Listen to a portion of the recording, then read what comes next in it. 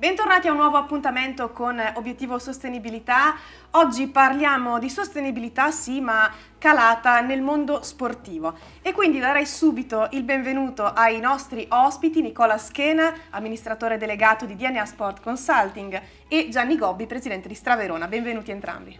Buongiorno. Buongiorno, grazie. Allora, dunque, Oggi parliamo di sostenibilità e parliamo di sport, ovviamente, ma prima di entrare nel, diciamo, nel clou del discorso vorrei un attimo presentare le due realtà, quindi partiamo da DNA Sport Consulting che di sostenibilità diciamo, fa un po' la chiave di tutto il lavoro.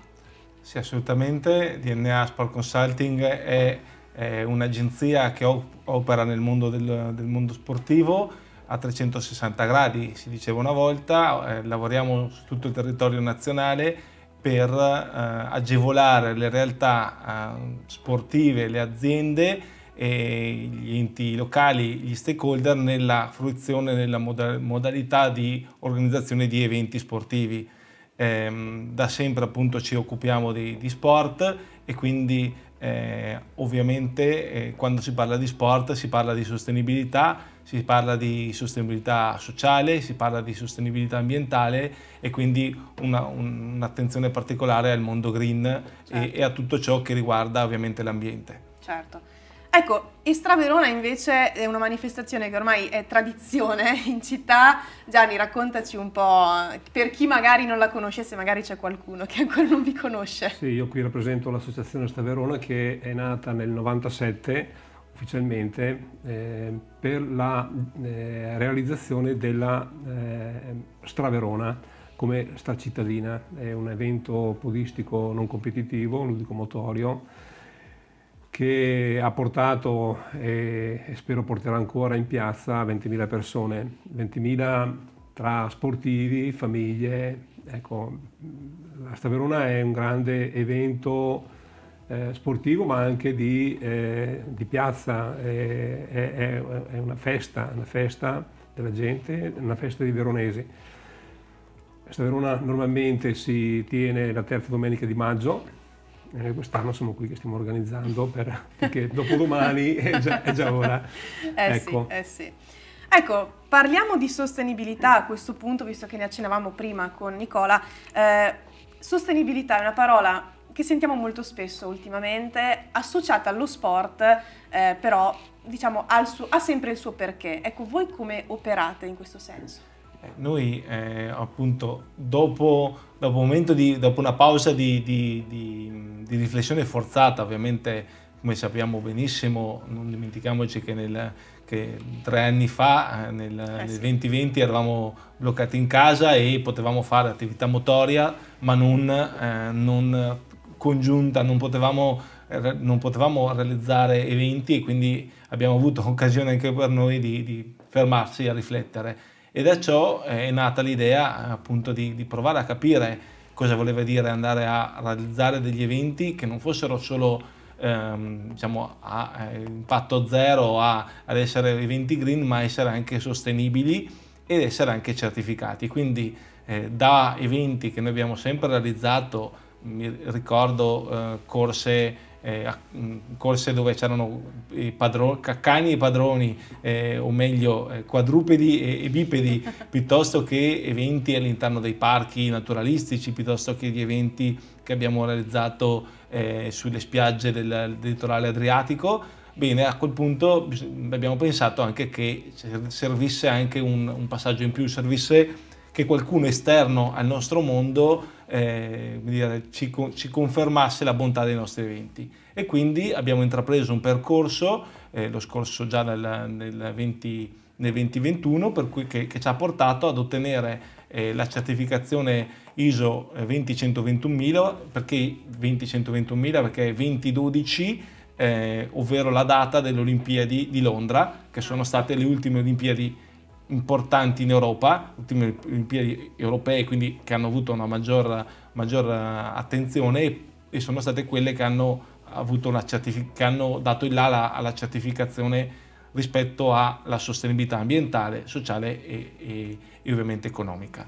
Bene, quindi noi abbiamo intrapreso questo percorso eh, perché appunto riteniamo che gli eventi non siano solo sostenibili e, e green lato interno, ma siano anche da realizzare con dei principi solidi che sono appunto l'inclusione, eh, ovviamente l'integrazione, eh, la, la, socialità e la sportività.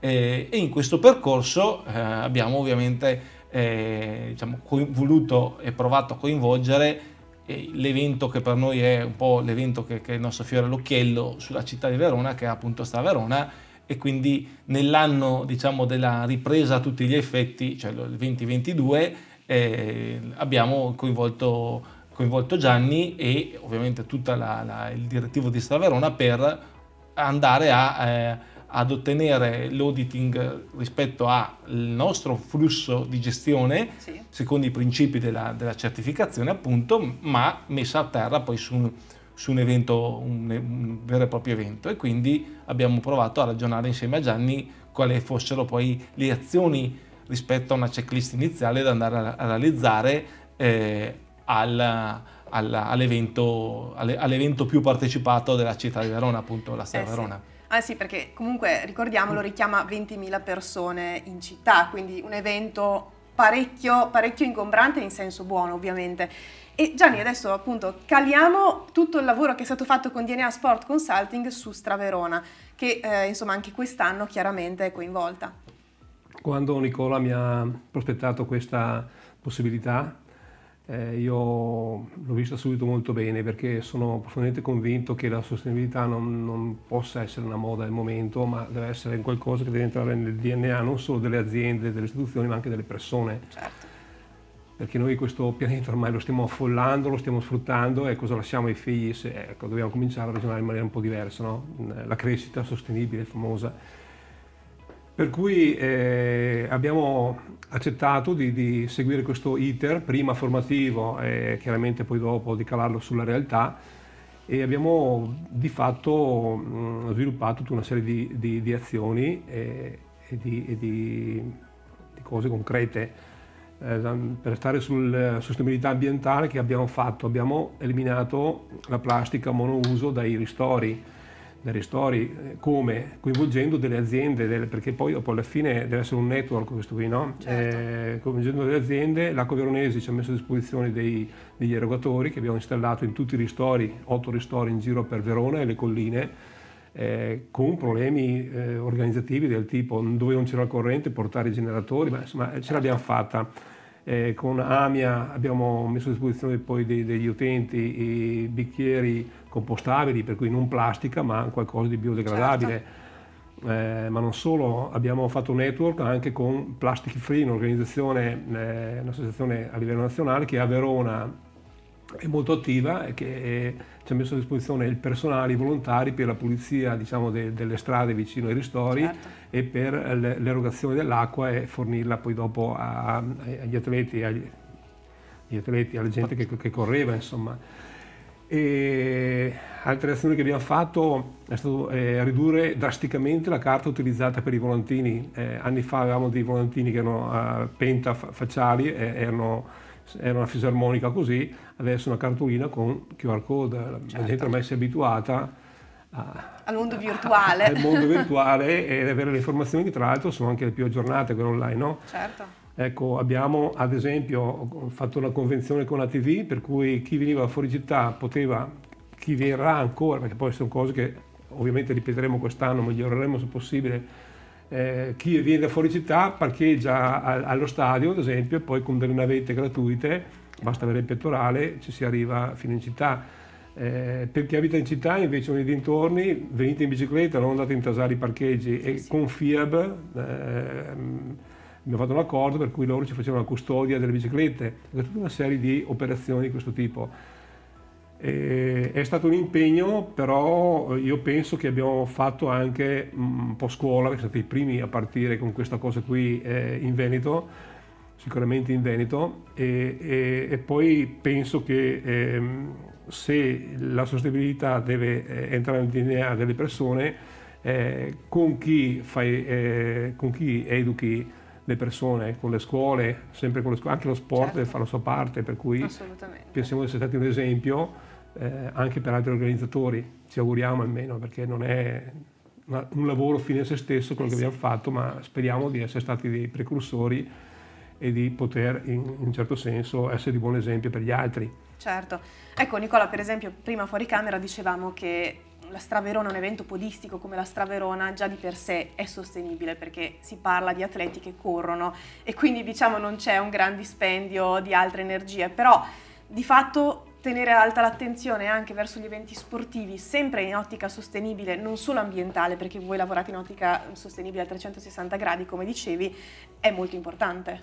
Sì, assolutamente, è molto molto importante, eh, ovviamente c'è anche la, la parte di sostenibilità sociale. Eh, di per sé l'esempio di Staverona calza sempre a pennello perché eh, da sempre la, l'associazione Staverona sostiene dei progetti importanti di charity eh, con le varie azioni, le varie attività che vanno, si va a realizzare, ma abbiamo messo a sistema non, solo, non, non solamente questo aspetto, ma anche quello appunto legato alla eh, cult- la, la, sostenibilità culturale, se vogliamo, eh, insieme a quella, appunto alle varie associazioni che, e quindi ai vari stakeholder che abbiamo coinvolto, eh, anche quella di diffondere la cultura e, e una, un aspetto culturale sempre con un approccio motorio, con un approccio di, di, legato al mondo sportivo, ehm, legando, legandosi a delle passeggiate culturali collegate alla, all'associazione Verona Milano Gerusalemme. Venendo appunto poi a DNA, ovviamente DNA realizza altri eventi insieme ad altri partner sul territorio nazionale e da sempre ha questo, questa visione, quest'ottica per andare a eh, diciamo, avere un occhio di riguardo sulla sostenibilità ambientale e soprattutto anche eh, culturale in modo tale da, e sociale e quindi da, da avere, da, da avere una, una, da riuscire a lasciare, a lasciare, per ogni evento una legacy, un'eredità che poi possa continuare sul territorio, continuare sul, sulla vita quotidiana. Ovviamente parliamo di eventi che hanno una eh, cadenza giornaliera, eh, ovviamente sono eventi che hanno che hanno una, un inizio e una fine, eh, però che lasciano delle esperienze positive e che secondo noi devono anche lasciare un'eredità che poi deve essere continuativa nell'arco dei 365 giorni all'anno. Chiaro. Eh, insomma, Straverona per quanto mi riguarda ormai manca poco e insomma avete intenzione di crescere anche da questo punto di vista della sostenibilità, quindi insomma io vi faccio un grande in bocca al lupo sia per Straverona Gianni e anche per DNA Sport Consulting che possa portare avanti insomma tutti questi bei progetti. Io vi ringrazio per essere stati miei ospiti oggi, è stato davvero un piacere. Grazie. Grazie, grazie a te. Benissimo, allora anch'io vi saluto, grazie per essere stati con noi e al prossimo appuntamento con Obiettivo Sostenibilità.